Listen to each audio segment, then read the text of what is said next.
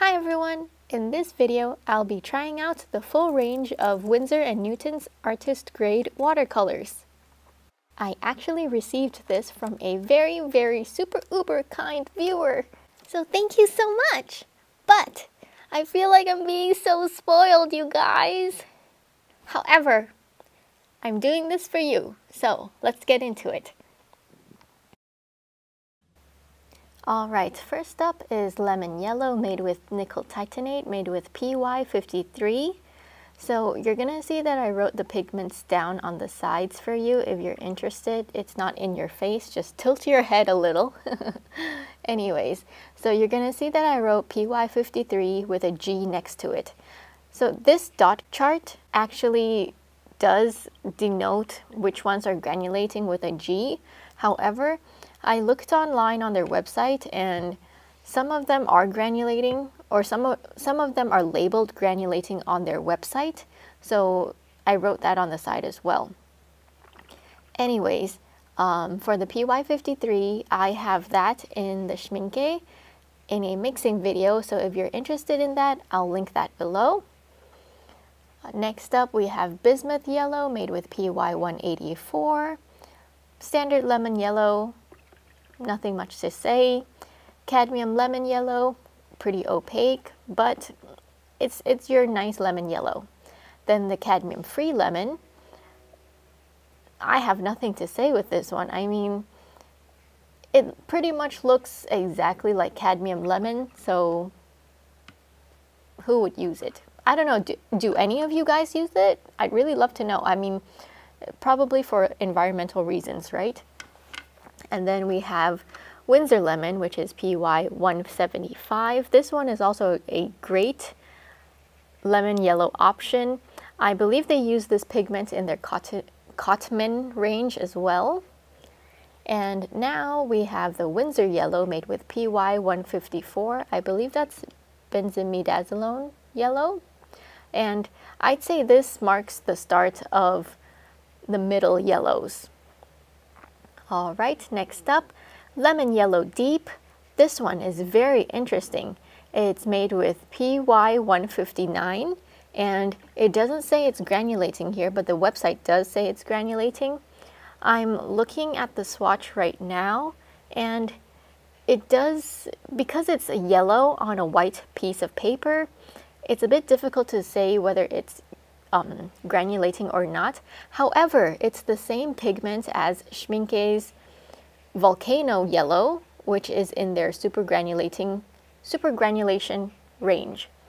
Next is Areolin, Aerolin, Orelin, PY40, and then we have transparent yellow made with PY150, which is nickel azo yellow. Love this color, probably one of my staples. And then cadmium yellow pale.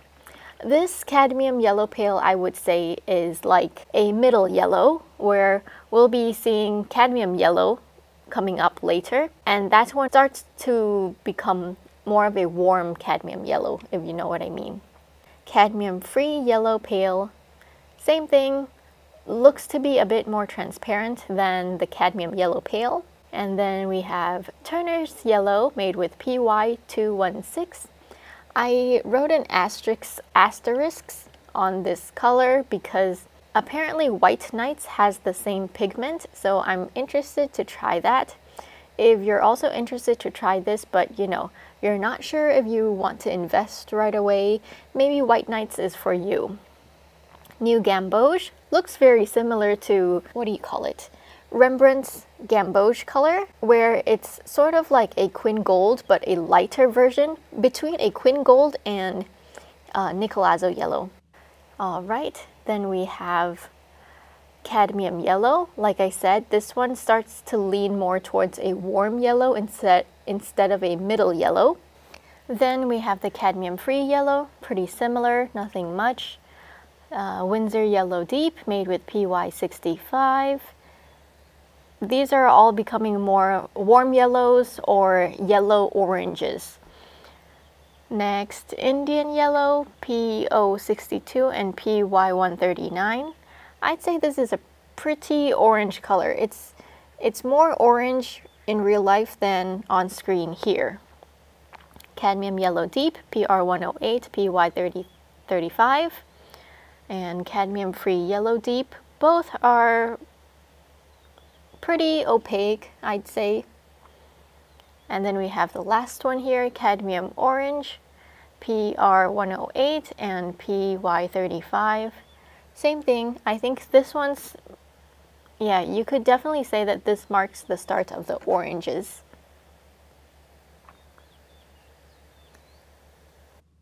Next up, we have the cadmium-free orange. I'd, I'd like to say this one is much more vibrant than the cadmium orange previously. So if, if that's what you're looking for, maybe try this one out. And then we have Winsor Orange PO62. This one's rather transparent compared to the one previous, compared to the previous one. Um, and then we have Transparent Orange which I, I can't tell what the pigment is. It just says DPP on their website. Does anyone know what the pigment for this one is? It looks to be like a PO71, but I'm not sure. The next one, the one next to it is PO73, Winsor Orange Red shade. And I'd say this would mark the beginning of the warm reds. So those orange leaning reds. Okay, we have cadmium scarlet made with PR108. This, this one is just a cadmium color, pretty opaque, nothing much. The cadmium free scarlet seems to be more warm than the cadmium scarlet. So if you like the cadmium scarlet but want a cadmium free version, just keep in mind that the cadmium-free version seems to be a tad bit more warm. Um, then we have Scarlet Lake made with PR188, Cadmium Red made with PR108. Now, for this one, this Cadmium Red, on their website it says it's granulating, but this chart only says it's staining but doesn't say granulating. So we'll put a pin in that. And then we have the Cadmium Red uh, sorry, cadmium-free red. And this one I'd say also is also slightly more vibrant than the, the normal cadmium red. Then we have cadmium red deep, PR108. This one, the website also says granulating. So the cadmium red and cadmium red deep seems to both be granulating. And I'm wondering if it would be like volcano red in Schmincke's range. Now we have cadmium free, red deep, pretty similar to the cadmium red deep, so nothing much to say about that. Um, Winsor red, I'd say this is definitely a fire truck red made with P made with PR254. Next we have Rose Doré made with PV19 and PY97. I think they're trying to recreate like the red rose color. I don't know. I feel like when I swatched this out, it feels very much like a lip tint to me for women out there, if you know what I mean. It's like one of those lip balms with a red tint. Next up, we have quinacridone red, PR209. This one is actually one of my favorite pigments. Love it. It's that ready pinky color, but also has an orange in it. Beautiful. Winsor Red Deep, made with PR264. This one, I'd say we're entering the dark red territory, like the cool reds, you know?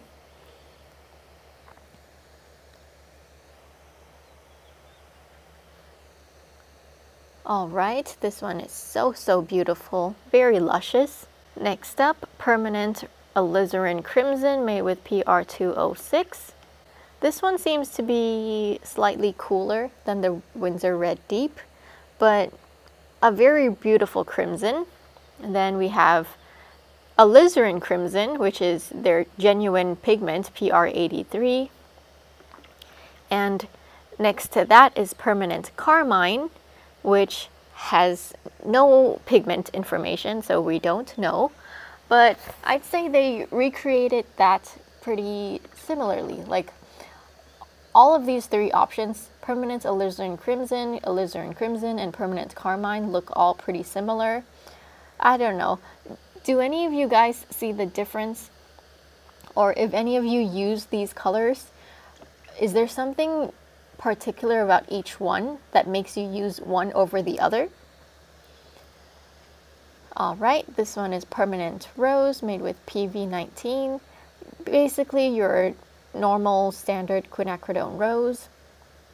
Then we have Rose Madder Genuine NR9, so this is a natural pigment, and their website says it's granulating.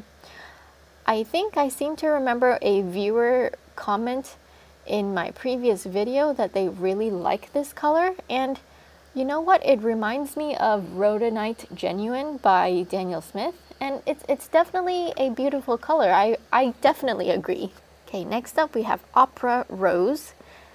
Their website says just PR122, but we all know there's a fluorescence in there, right? Next we have Quinacridone Magenta PR122. This is one of my favorite, favorite colors probably my second favorite from Phthalo Turquoise. Um, nothing much to say, this is strong tinting, standard PR122. Next is Permanent Magenta made with PV19 and this is the violet version of the, this pigment PV19. Normally people would think the quinacridone rose color or the redder version of quinacridone rose, but I'd say this, this is pretty blue. And if you mix this with ultramarine blue or any blues, it gives you a really, really beautiful violet. Next is Cobalt Violet, made with PV14. This one's granulating, as the chart clearly says. If you're looking for a vegan option for this color, exact same hue, granulation, check out Rembrandt. I think it's pretty cheap for the 20 ml tubes. I have it and I love it. Next up is Permanent Mauve. Mauve? I'm sorry, I don't know how to say this word.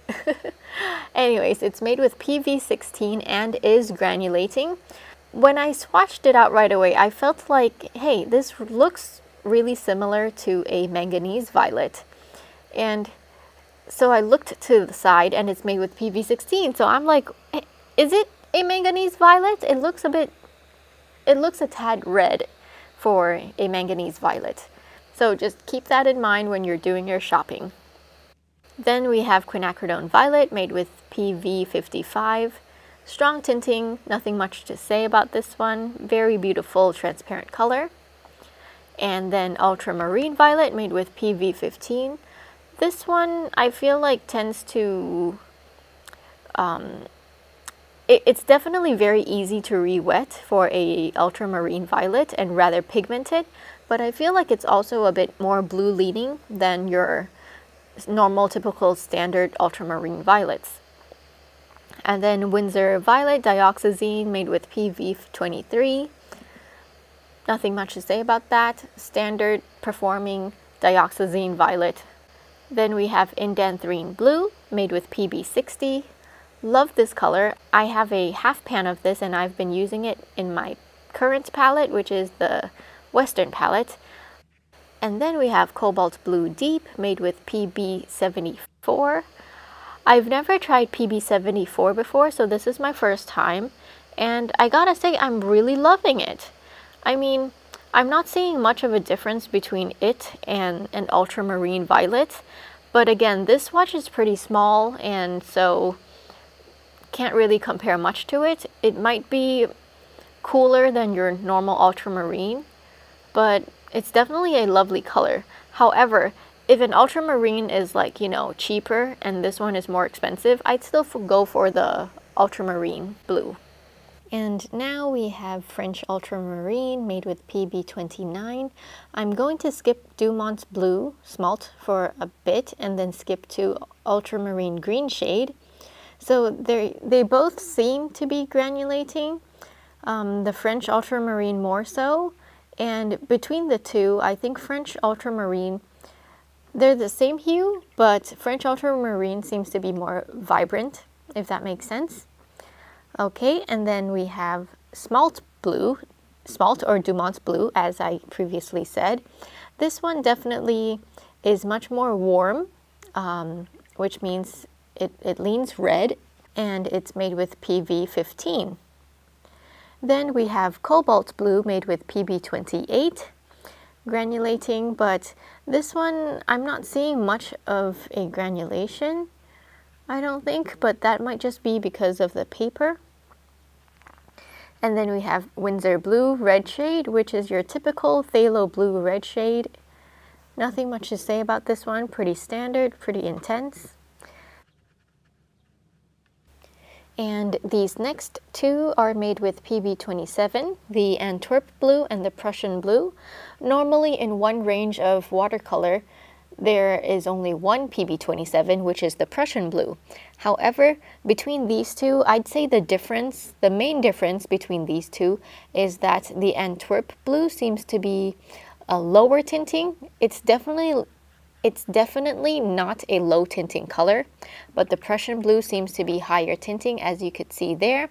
I tried to dig out the pigment to see how much it would come out and the Prussian blue almost gives you a dark black, whereas the Antwerp blue didn't. And then we have Winsor Blue Green Shade made with PB15, which is your typical phthalo blue green shade. The next two colors here are both cerulean blue. The first one is a red shade and the other one just says cerulean blue. However, when I first swatched this out, I could clearly tell right away that the cerulean blue red shade is the same hue as Holbein's cerulean blue. And that's because I have Holbein's and I use it pretty often. However, their cerulean blue, this Winsor & Newton cerulean blue right here, is more of White Nights' hue. So depending on which one you like, buy the one you want. and now we have manganese blue hue made with PB15. I'm pretty sure they they don't say it, there's a white in there, so maybe they used an, an opaque filler of sorts. And then we have phthalo turquoise made with PB16. This one isn't as green as Holbein's, but it's definitely my second favorite phthalo turquoise in terms of brands. And then we have aqua green, which is a phthalo color. They don't tell you the pigment, just that it's phthalo, but this one I really, I love my turquoises. You know that. And this is like that tad bit more green than phthalo turquoise. And it says it's granulating, but because this is a tiny swatch, I can't really tell. But yeah, I'm definitely going to be buying this one in the future. Next is Cobalt Turquoise Light, made with PG50, which is your typical cobalt teal, cobalt turquoise, you know. And the next one is Cobalt Turquoise, made with PB28 and PB36. With this color, Winsor & Newton used to have it as a single pigment, but I think somehow they changed it, made it a double pigment. Don't know what happened there, but the color is just as beautiful, your typical cobalt turquoise. And the next one is Cobalt Green Deep, PG26. This is a very nice cobalt green deep color compared to the one next to it, which is Cobalt Green, made with PG50. This one is very similar to Roman Szmal's Cobalt Green Light, where it's a middle green that's granulating and rather opaque. Next is Winsor Green Blue Shade PG7, which is your typical phthalo green blue shade. Viridian. I made a drop and then I'll come back to it later. Winsor Green Yellow Shade, your typical phthalo green yellow shade. Nothing much to say about that. Super strong tinting, just like the Winsor Green Blue Shade. And here's Viridian. I'm not sure if this is because it's a small sample, small dot, but it was very difficult to re-wet and very low tinting. Of course, Viridian is low tinting, but the fact that it's also very hard to re-wet just makes it impossible. And now we have Terra Verte, which is a very low tinting pigment, very hard to re-wet as you could see here. It's made with PB28, PG18, and PG23.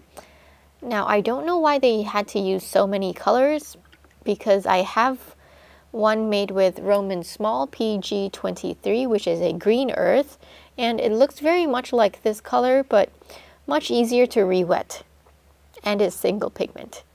And then we have Perylene Green made with PBK31. It's very beautiful. It's I can definitely tell that it's green, not a black, whereas I feel like some other brands, when you swatch out Perylene Green, it looks more of, of a black with a green undertone, but this one just feels like a green that's very, very dark. Oxide of chromium made with PG17, granulating and staining. Then we have Hooker's Green made with PG36 and PY110. Pretty middle green, nothing much to say. Permanent Sap Green is next, made with PG36, PY110. I'm really loving Winsor & Newton's Permanent Sap Green.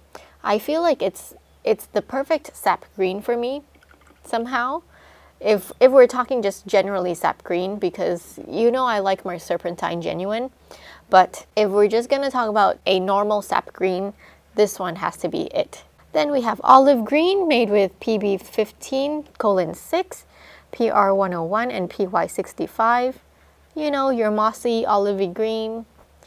And now we have Terra Verte yellow shade, oh, PG23. So they do have a single pigment option and is much more yellow than the previous Terra Verte. Okay, well, there we go. and now we have green gold, PY129. Um, I normally refer to it as azomethine green yellow, but green gold is fine. Naples yellow PBR24 and PW6 seems like a Caucasian skin color. And then we have a Naples yellow deep PBR24, more of a tanner Caucasian skin color.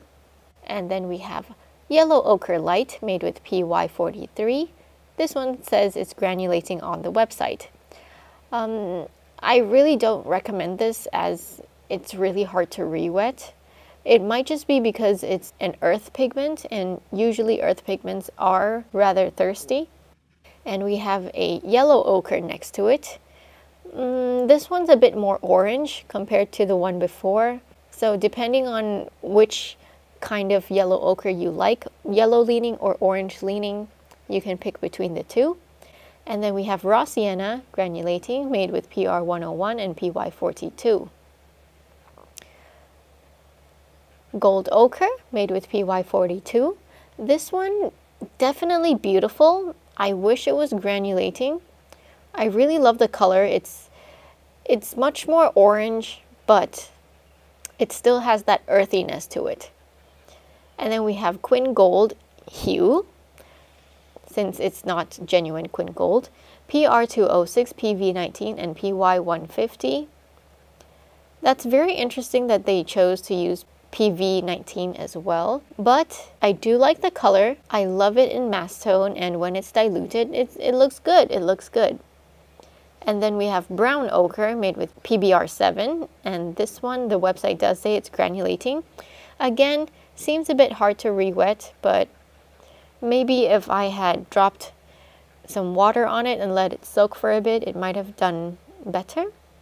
And we have magnesium brown made with PY119 granulating. Lovely, this one reminds me of Aquarius brown made with PBR11 from Roman Szmal's range. And then we have burnt sienna made with PR101.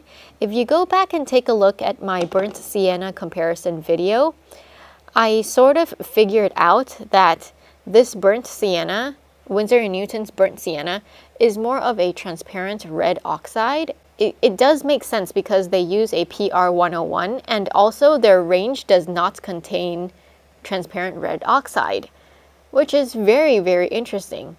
So do go check out my burnt sienna comparison video if you're interested. I'll link that below. Then we have light red made with PR102. It's not as opaque as, as I would imagine light reds to be because light red oxides are usually more opaque, aren't they? Like this Venetian red, very opaque, made with PR101. typical Venetian red. And then we have the Indian red made with PR101 as well. Opaque, lovely, very pigmented, solid performing Indian red, nothing much to say. Brown Madder made with PR206. So they did use this, this color, this pigment in their Quin Gold hue. And I think I can understand why because it's similar to a quinacridone burnt orange PO48. So it makes sense. I would agree. Then we have Potter's Pink made with PR233. I love Winsor & Newton's version as well because it granulates much more than Roman Szmal's version. PR179 Perylene Maroon. Lovely reddish brown color, has quite the drying shift. I'm interested to know if any one of you use Perylene Maroon in your palette and what do you use it for? Like, do you use it as a red red, you know, like to replace alizarin crimson, or do you use it more of a burnt sienna brown red? That'd be interesting to know. And Perylene Violet, PV29. I actually love Winsor & Newton's version of this because once it dries, I actually feel like I could see the violet in there, whereas White Nights' version I have of PV29 feels more flat. Then we have Caput Mortuum Violet PR101. Their website does say it's granulating and even with this small swatch I can tell that it is granulating. Beautiful color, pretty mm, sort of two-tony. If you like Caput Mortuums, I think you'll like this one. Then we have raw umber made with PBR7, granulating as well from their website. And I love this color.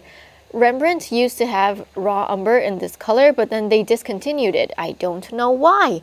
So this will be my new go-to raw umber. I mean, I don't have it. I haven't bought it yet, but this is the raw umber that I've always loved from Rembrandt. So yeah, I'm happy about that.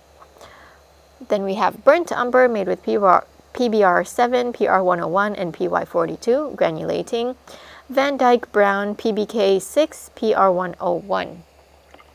And then we have Sepia, PBK6, and PR101. Pretty typical. Not sure why they had to use multiple pigments, but hopefully they'll revamp their range and make them into single pigments soon.